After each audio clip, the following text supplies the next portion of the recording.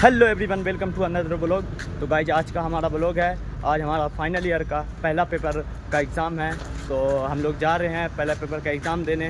तो देखते हैं हमारा एग्ज़ाम कैसा जाता है। और पीछे दोस्त सब है और एक दोस्त गर्लफ्रेंड से बात करते हुए जा रहा है। एहे रहा नहीं जाता। तड़प ही ऐसी है। और हम चलिए चलते हैं और कॉलेज का माहौल दिखाते हैं कैसा है। हम लिफ्ट के पास पहुँच चुके हैं लिफ्ट से जाने के लिए। नहीं नहीं छोड़ दे लिफ्ट से नहीं फंस जाएँगे। डर गया ये डर गया देख सकते हैं गाइस कितना डर है। लिफ्ट से नहीं जा रहा है बोल रहा है कि फंस जाएँगे।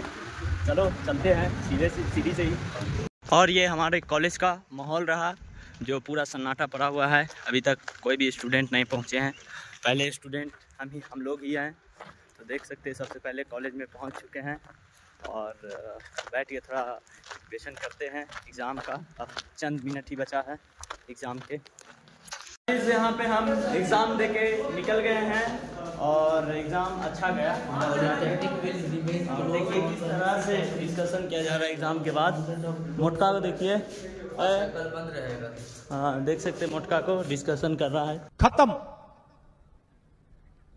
Bye bye tata good bye